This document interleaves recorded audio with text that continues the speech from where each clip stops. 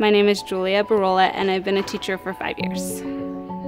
I grew up in Albuquerque. I went to Oñate, then Jackson Middle School and El Dorado High School. I was looking at programs for elementary education. I, of course, gravitated to UNM. I really wanted to serve the students in my community. Kids who look like me, people who have the challenges I had growing up so that they can have all of the success that I've had. I think that kind of made me turn into an advocate for better education in New Mexico and that you can be part of a lot of teacher leader networks and be part of a bigger picture in New Mexico.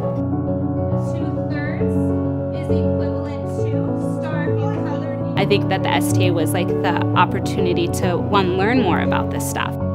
So that was like the first really interesting avenue. And then after that, we talked a lot with, you know, some of the great people we've worked with about ways to use our voice and the idea that um, if you're not hearing from teachers, then you're not going to have the best for students.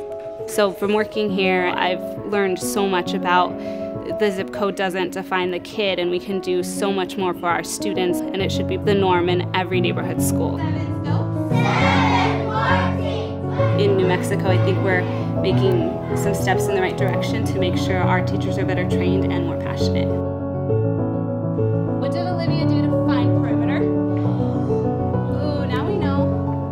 STA really empowered me to use my teacher voice for what's best for the students in the community overall, and it gave me the chances to do that. Like I spoke at a legislative session, and I would have never done that if it wasn't for the STA, or just being able to meet other people in other communities and hear what they're doing so that we could bring it back to our community, or they could bring what we're doing to their community. New Mexico empowers me because it gives me an opportunity to work with students and see their growth.